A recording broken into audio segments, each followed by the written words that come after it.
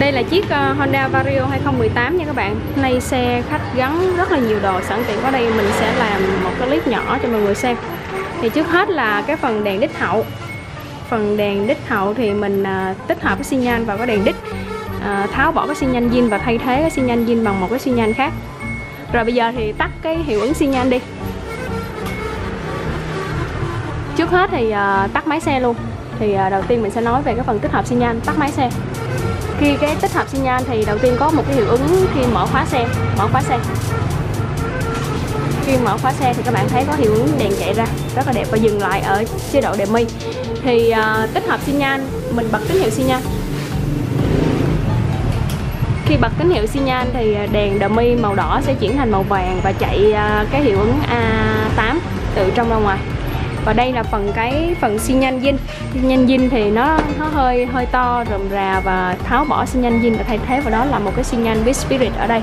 Có tín hiệu dummy và cả xi nhan khi xi nhan thì sẽ chớp theo cái tín hiệu ở phía trên đây. Rất là đẹp. Rồi thì phần xi nhan thì có luôn cả cái cục tinh ton khách gắn cục tinh ton rất là nghe rất là dễ thương. À, chống quên xi nhan khi bạn đi đường các bạn quên tắt xi nhan thì ra tiếng tính ton này nó sẽ giúp cho mọi người nhắc nhở là nhớ tắt cái phần xi nhan đi nha. Ok.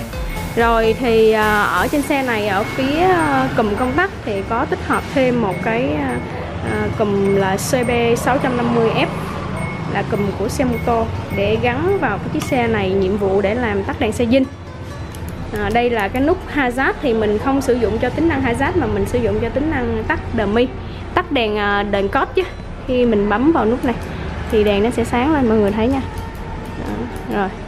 Ngoài ra thì à, cái cái bên có một cái nút là nút cốt pha thì giữ hoàn toàn như viên nhưng theo đó là mình sẽ làm cho nó bắt sinh nha. Phần này bắt sinh rất là bấm nhẹ lắm nút bấm rất là nhẹ là vì cùm là cùm hàng chính hãng nha mọi người thấy. Khi bấm này pha pha có thì vẫn giữ là như viên ngoài ra có thêm nút bát sinh rồi.